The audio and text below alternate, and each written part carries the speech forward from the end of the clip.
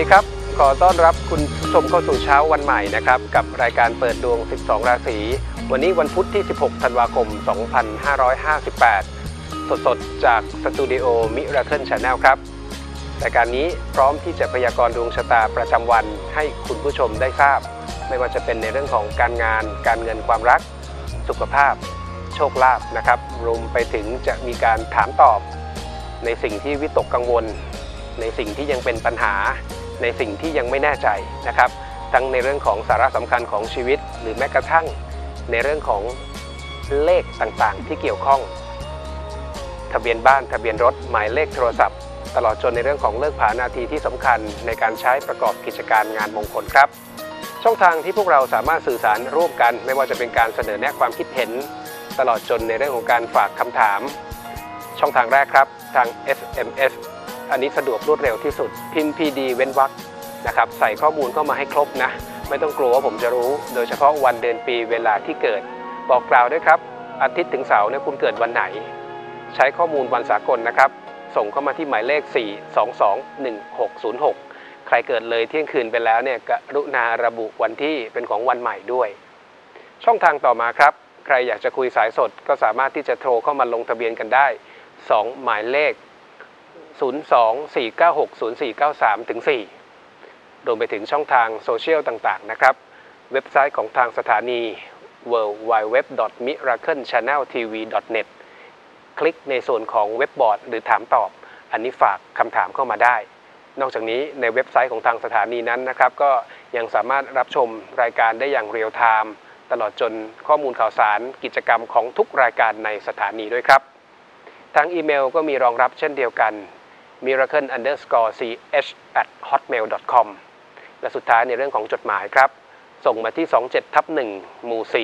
4 ตำบลบางม่วง อำเภอบางใหญ่ จังหวัดนนทบุรีครับ รหัสไปรษณีย์ 11140 หรือถ้าใครอยากจะสอบถามรายละเอียดต่างๆ เพิ่มเติมนะครับ หมายเลขโทรศัพท์ที่เห็นด้านล่าง จะมีน้องทีมงานคอยอำนวยความสะดวกอยู่ครับ 0831997972 วันนี้ก่อนจะเข้าสู่ภาคพยากรณ์ในเบรกที่ 1 ก็จะเป็นการพยากรณ์ดวงรายวันของทั้ง 12 ราศีนะครับ ก็จะมีข่าวกิจกรรมประชาสัมพันธ์จากทางสมาคมครับ ในช่วงสุดสัปดาห์นี้และสุดสัปดาห์หน้าจำง่าย ๆนะครับ2เสาร์2อาทิตย์ ทางสมาคมโหรแห่งประเทศไทยในพระบรมราชินูปถัมภ์ร่วมกับทางบริษัท C1 Education จำกัดมหาชน ร้านหนังสือ C1 Book ครับ ขอเชิญทุกท่านร่วมงานพยากรณ์การกุศลเพื่อเฉลิมพระเกียรติ พระบาทสมเด็จพระเจ้าอยู่หัว พ่อหลวงของแผ่นดินครับ เนื่องในวโรกาสวันเฉลิมพระชนมพรรษา 5 ธันวา มหาราชครับ กิจกรรมจะจัดในวันเสาร์ที่ 19 และอาทิตย์ที่ 20 ธันวาคมนี้ และสำหรับสัปดาห์หน้านะครับ ก็จะจัดในวันเสาร์ที่ 26 และอาทิตย์ที่ 27 ธันวาคมณ ลานหน้าร้านหนังสือ C1 Book ชั้น 3 ที่ห้างสรรพสินค้าแฟชั่นไอแลนด์นะครับ รายได้หลังจากหักค่าใช้จ่ายจะนำขึ้นทูลเก้าถวาย โดยเสด็จพระราชกุศลตามพระราชอัธยาศัยนะครับ สอบถามข้อมูลและสำรองที่นั่งได้นะครับที่หมายเลข 0961045299 และสำหรับคุณผู้ชมที่ได้โทรสอบถามเข้ามาในสถานีว่าผมไปหรือเปล่า ไปนะครับ วันเปิดงานวันเสาร์ที่ 19 นี้ และผมจะไปตรวจดวงชะตาด้วยนะครับ ช่วงเวลาที่ผมไปสแตนบายก็คืออตั้งแต่ห้างเปิด 11 นาฬิกาจนถึงบ่าย2นะใครสนใจจะตรวจดวงชะตากับผม เจอเจอกันได้นะครับ วันเสาร์ที่ 19 นี้นะและในงานนี้ไม่ใช่ผมไปคนเดียวนะครับ นักพยากรณ์ของทางสมาคมทุกท่านนะที่มีความรู้ความสามารถก็จะคอยทำหน้าที่ในการให้คำปรึกษาตรวจดวงชะตาให้กับผู้ที่สนใจทุกท่าน หลากหลายศาสตร์ครับ หลากหลายแขนง ไม่ว่าจะเป็นโหราศาสตร์ไทยคัมภีร์มหาสัตเลขนะครับ เลข 7 ตัวไพ่ประเภทต่างๆ ไพ่ป๊อก ไพ่ยิปซี ไพ่มหาเทพ ไพ่ออราเคิลซึ่งทุกวันนี้ต้องบอกว่ามาแรงมาก รวมไปถึงในเรื่องของศาสตร์ที่เกี่ยวข้องกับพวกลายมือลายเซ็น พวกนี้โง่เฮงนะฮวงจุ้ยหลากหลายครับ ก็สนใจไปสามารถรับการตรวจดวงชะตาได้ และเหนืออื่นใดครับ ถ้าใครมีความสนใจอยากจะสอบถามรายละเอียด เกี่ยวกับสาขาวิชาที่ทางสมาคมเปิดสอนในวันดังกล่าวนั้นนะครับ ก็จะมีเจ้าหน้าที่คอยให้คำอธิบายเนื้อหาของหลักสูตรที่ทางสมาคมจะเปิดการเรียนการสอนเป็นประจำทุก ๆ 3 เดือนอีกด้วยนะครับ อันนี้ก็เป็นกิจกรรมมหามงคลครับ ที่ประชาสัมพันธ์ให้ทราบโดยทั่วกัน เข้าสู่ภาคพยากรณ์ดวงรายวันนะครับ วันพุธที่ 16 ธันวาคม 2558 จันทรคติการขึ้น 6 ค่ำเดือน 1 ปีมะแม่ครับ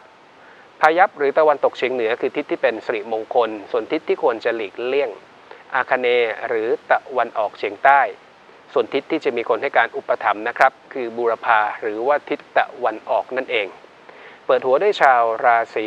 มังกรเหมือนเช่นเคยครับ 16 มกราคมถึง 12 กุมภาพันธ์วันนี้ในเรื่องของงานเชื่อมั่นมั่นใจ ไม่ว่าคุณจะอยู่ในระดับตำแหน่งไหน ถ้ามีโอกาสเป็นลีด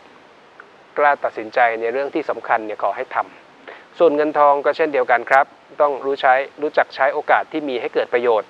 มีเพียงเรื่องของหัวใจเท่านั้นที่ต้องหักห้ามใจ โดยเฉพาะคนที่มีคู่ครองอยู่แล้ว เสริมไม่มีความหนักแน่น โดยเฉพาะเรื่องของการใช้ชีวิตนะครับ กับสีเลือดหมู ส่วนสีที่ควรจะหลีกเลี่ยงคือสีเขียว ต่อด้วยชาวราศีกุมครับ13 กุมภาพันธ์ถึง 13 มีนาคมชีวิตไม่ง่ายนะ วันนี้หัวใจไม่เด่นคนโสด ผมอยากจะใช้คำว่าอย่าหลงตัวเองนะครับ ส่วนคนมีคู่เวลามีปัญหาก็พูดให้น้อยที่สุด ส่วนเงินทองก็ต้องระวังการเข้าไปเกี่ยวข้องกับเรื่องราวของอบายมุกนะครับหรือว่าสิ่งที่ไม่ถูกไม่ควรต่างๆ แม้กระทั่งเรื่องของงานวันนี้ดูเหมือนจะขาดขาดเกินเกินๆนะครับ ไม่ผิดวิธีก็ผิดประเภท เพื่อเหลือเพื่อขาดเสริมให้มีที่พึ่งพามีคนให้การอุปถัมภ์ค้ำชูกับสีดำ ส่วนสีที่ควรจะหลีกเลี่ยงคือสีเหลือง ต่อด้วยชาวราศีมีนครับ 14 มีนาคมถึง 12 เมษายน วันนี้เงินทองต้องพอดีนะครับคำว่ามัธยัติกับตระหนีทีเหนียวมันต่างกัน โดยเฉพาะคนที่เป็นผู้หลักผู้ใหญ่ระวังเสียบุคลิกนะครับ อะไรควรจ่ายอะไรควรเก็บต้องแยกแยะให้ออก ส่วนหัวใจวันนี้เหมาะสำหรับการเปลี่ยนบรรยากาศ ผมไม่ได้ทันลึ่งนะหมายถึงว่าอาจจะชักชวนครอบครัวไปเที่ยวไปพักผ่อนนะครับ สุดท้ายในเรื่องของงานชาวราศีมีนวันนี้ผมทายดีนะครับ รับมอบหมายสิ่งที่ทำได้ไม่มีปัญหา และวันนี้ถ้าไม่เหลือบ่ากว่าแรง ช่วยเหลือคนอื่น ได้ก็ขอให้ทำครับ หลักทรัพย์เงินทองอะไรควรจ่ายอะไรควรเก็บสีแดง ส่วนสีที่ควรจะหลีกเลี่ยงคือสีขาว ต่อด้วยชาวราศีเมษครับ 13 เมษายนถึง 13 พฤษภาคม วันนี้เรื่องงานอาจจะดีสำหรับคนอื่น แต่อาจจะไม่ดีสำหรับตัวเอง ช่วยเหลือคนที่เดือดร้อนได้ แต่อาจจะส่งผลกระทบต่องานในหน้าที่ ส่วนเงินทองก็มีโอกาสคิดตัดสินใจผิดพลาด พูดอยู่เสมอครับ ในเรื่องของข้อมูลประกอบการตัดสินใจเนี่ยสำคัญที่สุด ความรักหัวใจวันนี้มีโอกาสได้รื้อฟื้นความสัมพันธ์ในอดีต ผมให้ความสำคัญกับเรื่องของงานนะครับ ชาวราศีเมษวันนี้สีม่วง ส่วนสีที่ควรจะหลีกเลี่ยงคือสีส้ม ต่อกันด้วยชาวราศีพฤษภครับ 14 พฤษภาคมถึง 13 มิถุนายน วันนี้เรื่องงานต้องมีน้ำอดน้ำทนหน่อย โดยเฉพาะคนที่มีคู่ครองคนรักอยู่นะครับ เพราะอาจจะต้องทำอะไรที่ไม่เป็นตัวของตัวเอง ฝืนธรรมชาติก็ใช่ ส่วนงานเหนื่อยเหมือนกันฮะ วันนี้ไม่ได้เหนื่อยไม่ได้เหนื่อยเพราะพวกเดียวกันนะครับอาจจะเหนื่อยกับในลักษณะของคู่แข่งขัน แต่เงินทองเนื้อหอม จะมีคนชักชวนหยิบยื่นเข้าหาครับ เสริมให้มีความหนักแน่นน้ำอดน้ำทน โดยเฉพาะเรื่องของการประคับประคองชีวิตรัก สีเขียว ส่วนสีที่ควรจะหลีกเลี่ยงคือสีเหลืองเข้ม ต่อด้วยชาวราศีเมถุนครับ 14 มิถุนายนถึง 14 กรกฎาคม วันนี้เรื่องงานไม่มีปัญหานะ แต่อาจจะไม่ท้าทาย มีโอกาสได้รับมอบหมายให้รับผิดชอบงานเดิมๆนะครับ สิ่งที่เคยทำมาก่อนหน้า แต่เงินทองรวมถึงการลงทุนวันนี้อย่าโลเล ดึงเข้าดึงออกไม่เอา โดยเฉพาะคนที่ทำธุรกรรมร่วมกับบุคคลอื่น โดยเฉพาะคนที่เดยให้คำสัญญาอะไรกับใครไว้ ความรักหัวใจวันนี้เหมาะสำหรับการทำในสิ่งที่ต่างจากเดิมนะครับ เสริมในเรื่องของหลักทรัพย์เงินทอง สีควันบุหรี่ครับ ส่วนสีที่ควรจะหลีกเลี่ยงคือสีบรอนเงิน 6 ราศีแรกนะสัจจะวาจาเรื่องของสิทธิประโยชน์เมถุนต้องเน้น ส่วนชาวราศีพฤษภวันนี้เน้นในเรื่องของการประคับประคองความสัมพันธ์ให้ดี หนักนิดเบาหน่อย อดทนเสียสละในเรื่องของความรัก ส่วนชาวราศีเมษนะครับ ความรักวันนี้ถ้าใครยังโสด อยากให้ลองรื้อฟื้นความสัมพันธ์เก่าๆดูนะครับ ส่วนชาวราศีปลาคู่ หรือชาวราศีมีนนั้นวันนี้เน้นเรื่องการใช้จ่ายโดยตรง ปกติจะบอกให้ประหยัด แต่วันนี้อยากจะบอกว่าอะไรที่ควรจ่ายอย่าเก็บ ส่วนชาวราศีกุมนั้นนะครับ วันนี้ในส่วนของสิ่งที่อยากจะเสริม ก็คือคนที่คอยอุปถัมภ์ช่วยเหลือ เพราะวันนี้ในเรื่องของงานดูเหมือนไม่พอดีครับ ขาดขาดเกินเกิน ส่วนชาวราศีมังกรนั้น วันนี้หนักแน่น เชื่อมั่น แสดงความเป็นผู้นำไม่ว่าคุณจะอยู่ในระดับตำแหน่งไหน ครึ่งหลังนะครับ เริ่มกันที่ชาวราศีปู ราศีกรกฎ 15 กรกฎาคมถึง 16 สิงหาคม วันนี้งานกับเงินอยู่ในเกณฑ์ที่น่าพอใจนะครับ มีโอกาสได้พบจุดเปลี่ยนที่สำคัญในเรื่องของงานให้หมั่นสังเกต ให้หมั่นแสวงหาโอกาส ในเรื่องของสภาพคล่องหยิบจับอะไรสำเร็จนะครับ เห็นเม็ดเงิน มีเพียงเรื่องของหัวใจ วันนี้กรกฎไม่ค่อยดี คนโสดอย่าพลีผลาม ดูลาดเราให้แน่ก่อนมีคู่ไหมนะครับก็ชอบเราหรือเปล่า ส่วนคนมีคู่เอง วันนี้ก็พยายามหลีกเลี่ยงการประทะดีที่สุด เน้นเรื่องของชีวิตครับ เสริมให้มีความมั่นคงเป็นหลักเป็นฐานกับสีส้ม ส่วนสีที่ควรจะหลีกเลี่ยงคือสีครีม ต่อกันด้วยชาวราศีสิงห์ครับ17 สิงหาคมถึง 16 กันยายน วันนี้สิงห์ผมเตือนในเรื่องของสุขภาพ ไม่ว่าคุณจะมีโรคประจำตัวอยู่หรือไม่ก็ตาม ความรักหัวใจเคารพสิทธิส่วนตัวกันนะครับ ฉะนั้นวันนี้การอยู่กันอย่างมีระยะห่าง ช่วยแก้ไขได้บ้าง เงินทองจะมีโชคมีลาบครับ วันนี้ขอความช่วยเหลือเข้าหาใครไม่ได้รับการปฏิเสธ เช่นเดียวกันกับในเรื่องของงาน มีเกณฑ์ได้ขยับขยายนะ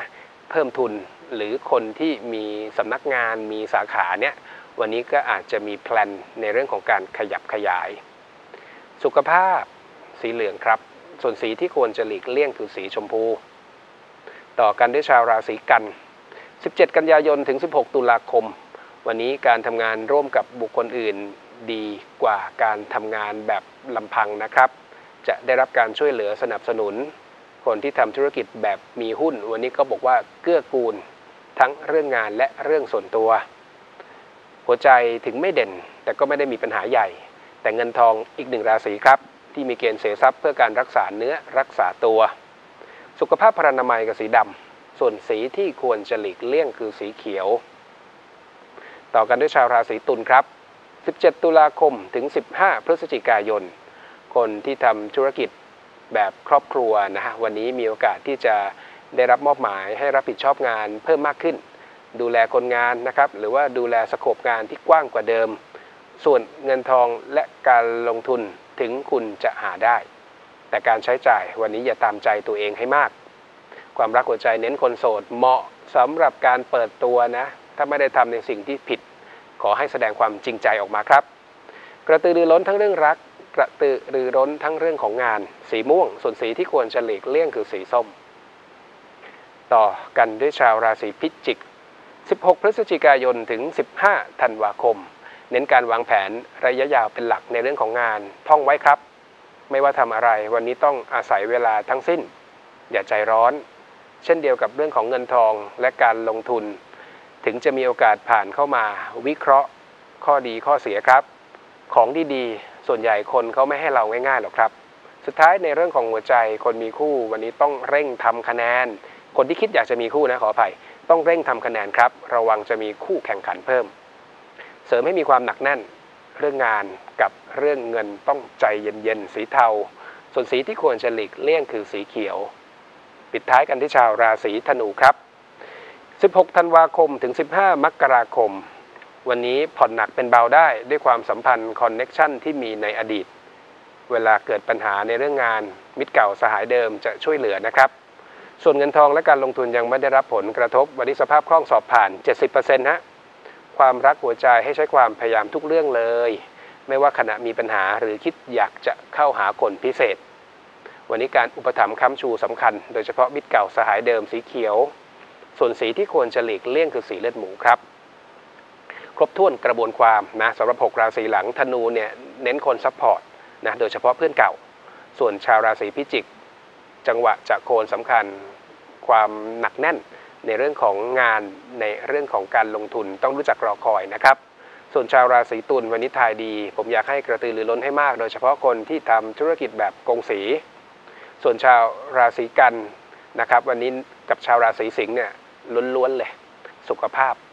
ส่วนชาวราศีกรกฎเน้นในเรื่องของความสัมพันธ์กับคนในครอบครัวนะครับสำหรับคุณผู้ชมที่อยากจะไปอ่านคำพยากรณ์ ซ้ำนะครับหรือเปิดเครื่องรับโทรทัศน์ไม่ทัน เข้าไปคลิกไลค์นะครับที่ Facebook Fanpage Miracle Channel TV